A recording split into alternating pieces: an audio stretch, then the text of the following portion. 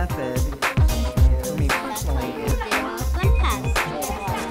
Today you're going to make a demonstration of what you've created. Pajaro Valley Unified School District, PVUSD, is committed to helping students become college and career ready by creating learning environments that are efficient, adaptable, and collaborative.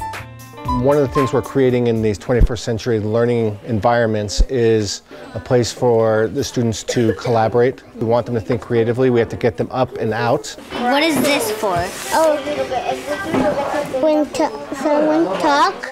Remember, there's going to be three parts to your presentation. Having a 21st century classroom has definitely changed already my approach to teaching. In what different ways can people be intelligent?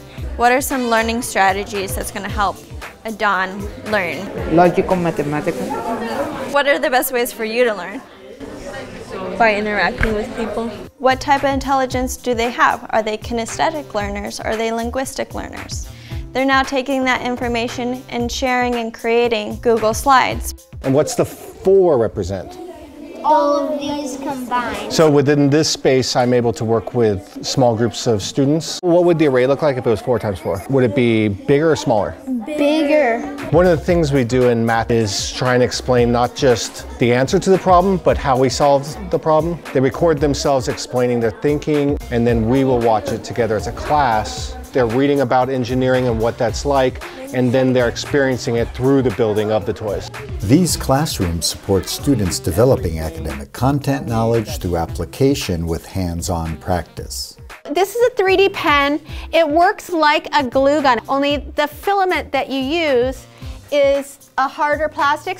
To innovate and be creative, Yeah, students need flexible learning environments that give them more control over the time, place, and pace of their learning. The classroom is set up with the front half of the classroom for direct instruction with a variety of seating choices. I think everybody was really excited when this room was made. There are tables that help with group work and tables that help with independent work. I like it because we get to interact with different people and actually move around. you get more work done and because you, you feel more comfortable talking to that person.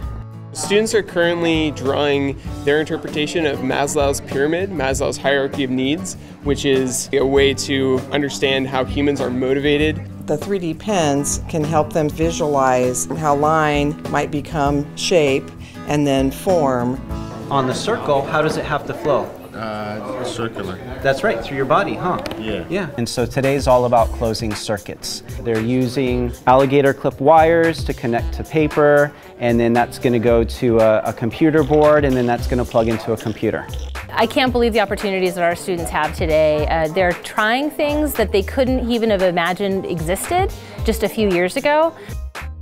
PVUSD has begun this process by designing and creating eight new 21st century learning environments across the school district. Have you ever heard the tragedy of Darth Plagueis the Wise? We're learning about the different jobs that exist within video production.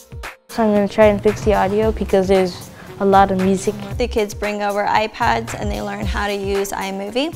We're using Google Classroom, Google Docs, Google Slides, the whole apps for education. Whether they are in the form of a makerspace or a fab lab, flexible learning environments will support social engagement and critical thinking.